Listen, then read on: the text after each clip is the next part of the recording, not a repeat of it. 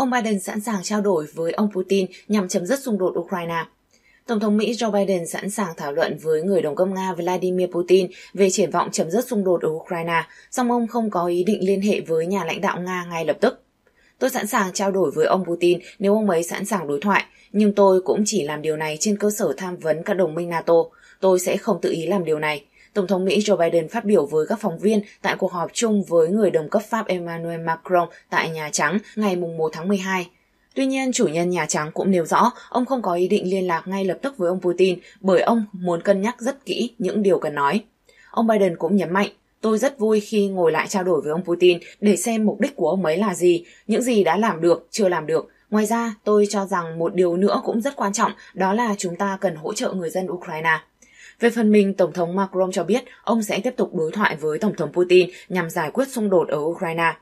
Tôi sẽ tiếp tục trao đổi với ông Putin bởi vì tôi đang cố gắng ngăn tình hình leo thang và đạt được những mục tiêu cụ thể, đặc biệt liên quan đến an ninh của các nhà máy điện hạt nhân trong vùng chiến sự, cụ thể là Zaporizhia. Chúng ta cần phải duy trì đối thoại, nhà lãnh đạo Pháp nói.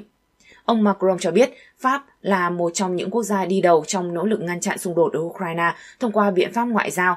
Mặt khác, ông khẳng định chúng tôi sẽ không bao giờ hối thúc người Ukraine phải thỏa hiệp những thứ mà họ không bao giờ chấp nhận. Chúng ta phải tôn trọng Ukraine, quyết định khi nào đàm phán và đàm phán với điều kiện nào về lãnh thổ và tương lai của họ. Ngày 1 tháng 12, ông Macron trở thành nhà lãnh đạo quốc tế đầu tiên thực hiện chuyến thăm cấp nhà nước đến Mỹ kể từ khi ông Biden tiếp quản Nhà Trắng. Cuộc khủng hoảng ở Ukraine hiện nay được cho là một trong những chủ đề chính trong cuộc gặp của hai nhà lãnh đạo. Mỹ và Pháp là hai trong số những quốc gia viện trợ quân sự an ninh lớn cho Ukraine kể từ khi xung đột Nga-Ukraine nổ ra hồi đầu năm nay. Một số chuyên gia cho rằng chiến sự kéo dài bắt đầu khiến Mỹ và các đồng minh mệt mỏi và đang ngầm hối thúc Kiev ngồi vào bàn đàm phán với những thỏa hiệp nhất định nhằm chấm dứt xung đột với Moscow. Tuy nhiên, giới chức Mỹ đã bác bỏ điều này. Thứ trưởng Quốc phòng Mỹ phụ trách chính sách Colin Khan tháng trước cho biết Washington không có ý định hối thúc Ukraine tham gia đàm phán với Nga khi chính quyền Kiev chưa sẵn sàng.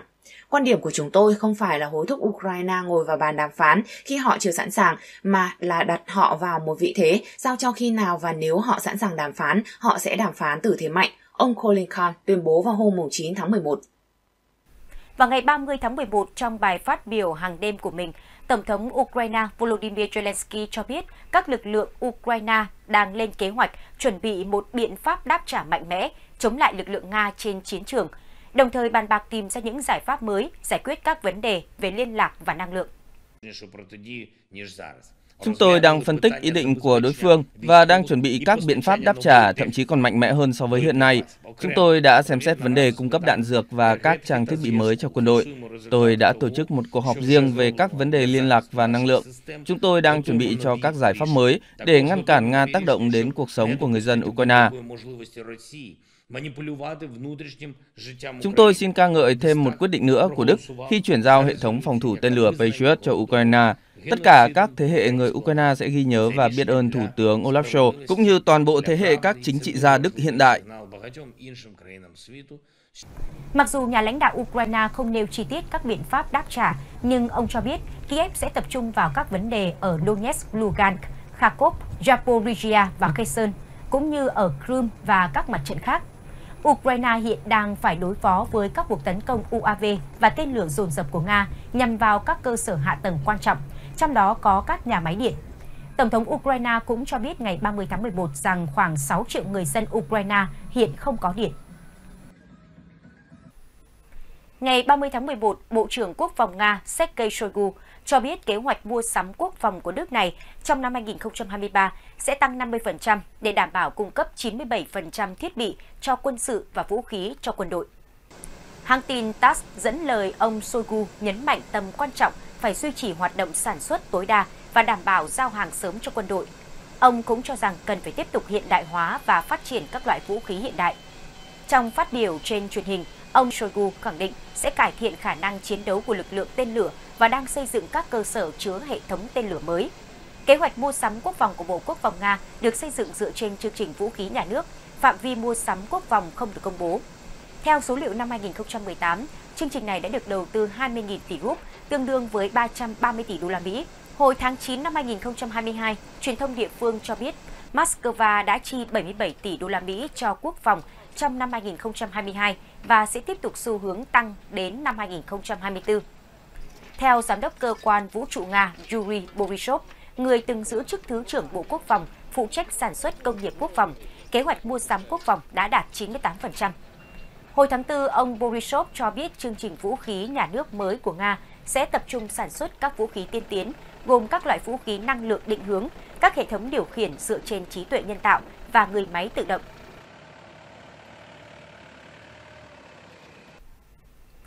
Mới đây, Tổng thống Ukraine Volodymyr Zelensky cho biết Kiev đã kêu gọi hàng chục quốc gia đối tác tham gia vào quá trình tái thiết và khắc phục hậu quả Ukraine phải gánh chịu trong cuộc xung đột với Nga kéo dài hơn 9 tháng. Dự tính chi phí của toàn bộ quá trình này có thể lên tới hơn 1.000 tỷ đô la Mỹ, gấp 5 lần GDP hàng năm của Ukraine.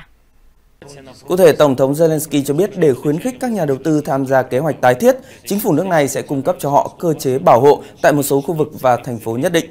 Ông cũng cho biết một số quốc gia như Pháp, Anh, Hà Lan, Đức, Đan Mạch, Phần Lan, Italia, Thổ Nhĩ Kỳ, Thụy Sĩ, Mỹ, Nhật Bản và Australia đã bày tỏ quan tâm tới kế hoạch xây dựng lại Ukraine sau xung đột. Trước đó, chính quyền Ukraine hồi mùa hè ước tính chi phí khắc phục thiệt hại do xung đột tại nước này là khoảng 750 triệu đô la Mỹ. Tuy nhiên, kể từ tháng 10, Nga nhiều lần thực hiện các đòn tập kích quy mô lớn nhắm vào các cơ sở hạ tầng năng lượng tại Ukraine. Theo công ty điện lực nhà nước Ukraine, Ukrainegro, tất cả nhà máy nhiệt điện và thủy điện lớn của nước này đều đã bị hư hại. Chính phủ Ukraine ước tính riêng chi phí thiệt hại đối với cơ sở hạ tầng điện là 2 tỷ đô la Mỹ. Ngày 1 tháng 12, Ngoại trưởng Nga Sergei Lavrov đã có buổi họp báo tại thủ đô Moscow. Tại đây, ông khẳng định rằng các nước phương Tây đã không nắm bắt cơ hội tránh cuộc xung đột Nga-Ukraine. Cụ thể, ông Sergei Lavrov cho biết phương Tây từng có khả năng tránh cuộc xung đột ở Ukraine, song quyết định bỏ qua các đề nghị của Nga về việc chấm dứt hành động bành trướng của Tổ chức Hiệp ước Bắc Đại Tây Dương NATO, đồng thời nhất trí trao cho Kiev quy chế an ninh đặc biệt. Bên cạnh đó, Ngoại trưởng Lavrov cũng nhận định rằng nhiều vấn đề đã tích tụ trong Tổ chức An ninh và Hợp tác ở châu Âu, OSCE, và cáo buộc phương Tây không cố gắng thu hẹp bất đồng với Nga sau chiến tranh lạnh. Theo vị quan chức này, không gian an ninh ở châu Âu đang bị phân rã và chính OSCE cũng đang trở thành thế lực bị gạt sang bên lề. Ông Lavrov cho rằng Mỹ gây ra mối đe dọa hiện hữu với Nga từ Ukraine. Theo ông, Nga chưa bao giờ từ bỏ liên lạc với Mỹ, nhưng không nghe thấy bất kỳ ý tưởng giúp Nga nào từ các đối tác ở Washington. Ngoại trưởng Nga cũng cáo buộc phương Tây đang thúc đẩy Ukraine tiếp tục chiến đấu chống lại Nga. Theo ông, cần tránh bất kỳ cuộc đụng độ quân sự nào giữa các cường quốc hạt nhân, ngay cả khi sử dụng vũ khí thông thường. Sự leo thang có thể trở nên mất kiểm soát. Theo ông Lavrov, phương Tây có cơ hội thực sự để tránh xung đột ở Ukraine, nhưng đã chọn cách từ chối các đề xuất của Nga về ngăn chặn NATO, về việc mở rộng cũng như thống nhất quy chế an ninh đặc biệt cho Kiev. Phương Tây trước đó cho rằng các đề xuất của Nga trước thềm chiến sự Ukraine là phi thực tế và không thành thật. Trong cuộc họp báo khi chiến sự đã bước sang tháng thứ 10, ông Lavrov cho biết Nga sẵn sàng nghe nếu bất kỳ ai muốn tổ chức đàm phán về Ukraine, đồng thời nhấn mạnh cáo buộc của Kiev về việc Nga muốn đàm phán để dành thời gian tập hợp và xây dựng lại lực lượng vũ trang là vô lý. Ông cũng khẳng định Nga sẽ sẵn sàng quay lại đàm phán với phương Tây nếu họ thay đổi ý định về việc thảo luận các đề xuất an ninh Moscow đưa ra tháng 12 năm ngoái.